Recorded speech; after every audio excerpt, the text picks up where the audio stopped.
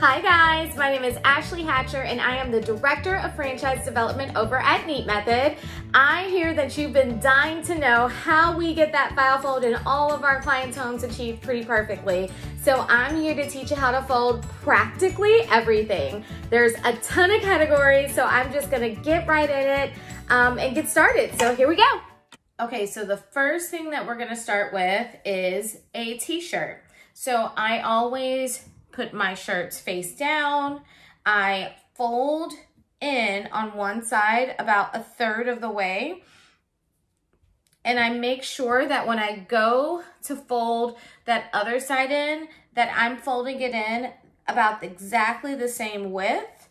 Usually the center meets up quite a bit. And this is all standard folding so far, right? You fold that up, this is how you normally would fold. The only difference with file folding a t-shirt is that you're gonna fold it in half again, giving you that fold here that you can stand all of your shirts up with. When you have a long sleeve shirt, it's basically the same thing.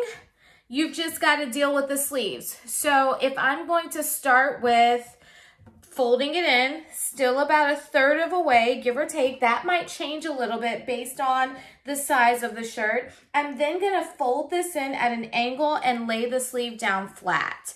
And then I'm gonna repeat the same thing on the other side where I'm folding in the same distance. I'm taking that sleeve, I'm laying it diagonally at an angle and getting it flat I'm going to fold it up like I normally would, and then I'm going to fold it in half again. And the idea is if you have consistently been folding it in about the same amount, you're not only gonna have a nice fold here, but you're also gonna have them end up being the same width um, as well, which is great and what we want because then when you're standing everything up, you get that nice, pretty look that you um, always see in all the file drawers. The next thing that I'm going to talk about is active wear. So I'll start with active tops and I always like to say that anything, I picked this top particularly because it has this like slinkiness and it has the straps. So deal with the straps first I always fold them in towards the body to give me that nice crease of a line. And then from here, I'm gonna fold in. This particular shirt bows in, has a curve. So I wanna let that come in so that it's almost creating like a, a rectangle effect for me. And once I have that as my bones, I can then fold in half and then fold in half again, just like normal. And you're gonna have that file right here at the end of the day, okay? Now for workout pants, I'm going to start with tucking this portion in, that little triangle piece that's sticking out. I'm gonna take my legs, I'm gonna bring it all the way up to the, uh, to the top here, folded in half. And then I'm going to go in thirds. And I typically start from the top and work my way down. So I'll fold it in third there. And then I'll fold it in third again. I've got my nice crease. I like to run my fingers across the top of the fold there so that it kind of squares it out and makes the fold look even prettier. And while we're on the subject, the same thing would happen with my jeans. If I were folding jeans into a drawer, I'm gonna tuck this in. I'm going to fold it up halfway.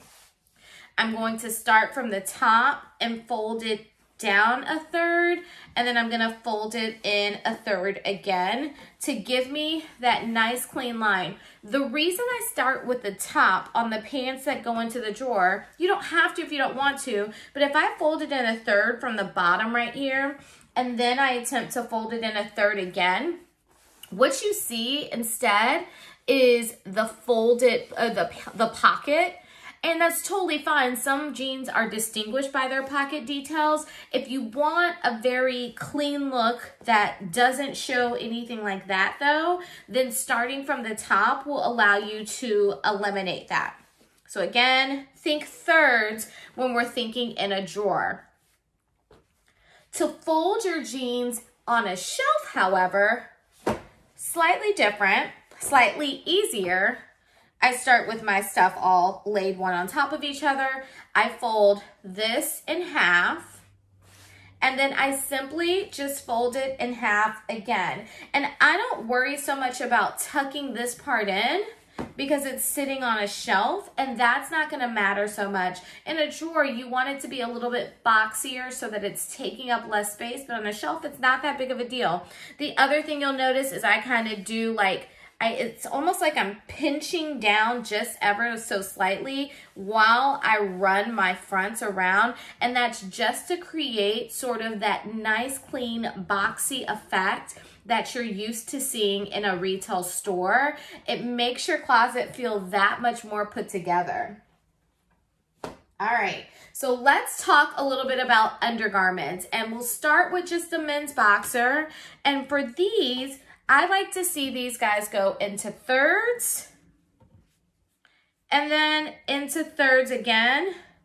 And you can either start from the bottom up or the top down, as I've said. Um, but, you know, the key is if you're not going to file fold and you're going to lay your underwear in a layered effect, starting from the bottom and folding up allows you to see the top of the band, which usually gives you the brand.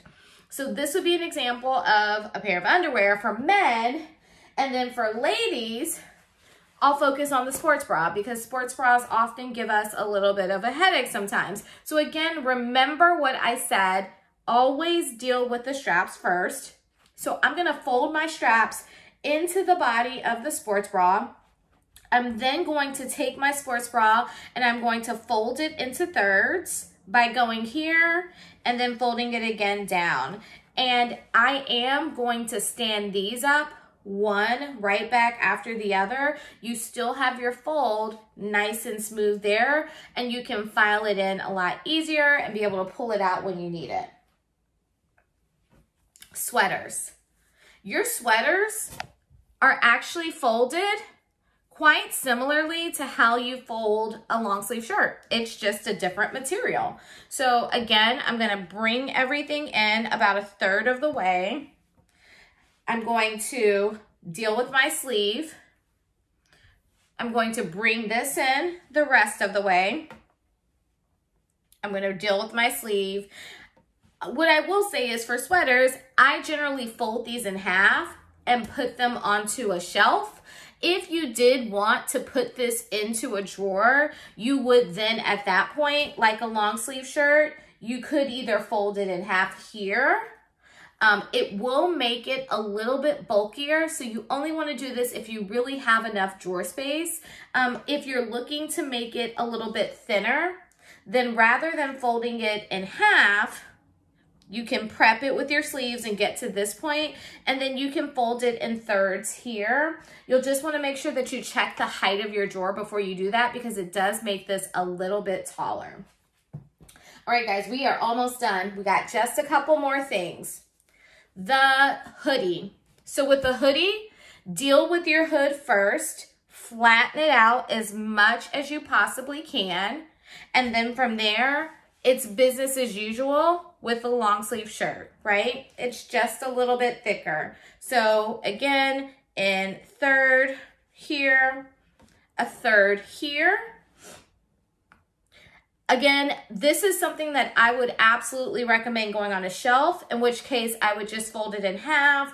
But because this is the file folding lesson, again, if I'm gonna file fold this into a drawer, I would use a deeper drawer and I would fold it into thirds to try to make sure that I'm eliminating that bulk as much as I possibly can. All right, so for our final category, uh-oh, some folded guys want to make their way back in the picture. All right, so for pajamas, right? If you have pants or top, fold them the way that we did them the other way. If you have a set, the one thing that I would say is for your pants, once you've got this tucked in, you fold this in half. I generally fold this into thirds there. I lay my top face down